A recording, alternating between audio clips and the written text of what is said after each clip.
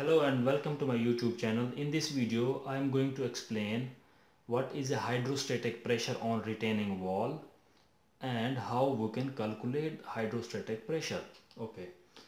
The pressure exerted by a fluid at equilibrium at a given point within the fluid by gravitational force is called hydrostatic pressure.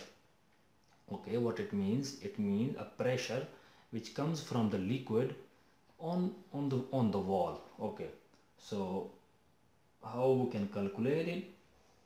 The formula which we are going to use is equal to p is equal to rho multiply by g multiply by height height of liquid in here. Okay. So what is the uh, density rho normally we uh, use for density the density of water. In our case we have water. You can have different fluid and if you have a different fluid then you have different density. So in our case we have water. So the density of water is equal to 1000 kilogram per meter cube. Okay. The gravity we have 9.81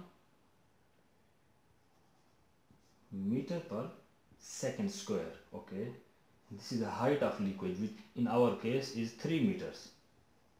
So this is the height of retaining wall which is 7 meter. We don't need to consider this one. This is just a dimension of the wall. We don't need to consider this. Okay.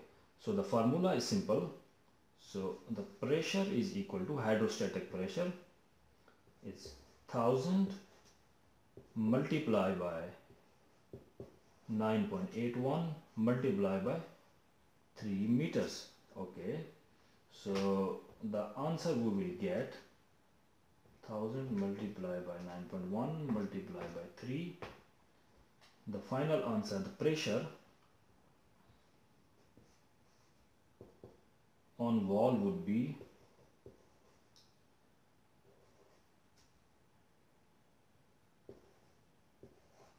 29,430 kilogram per meter. That's how you calculate hydrostatic pressure on retaining wall. You can have different type of retaining wall. It could be trapezoidal it could be square it could be in our case we have rectangle uh, retaining wall.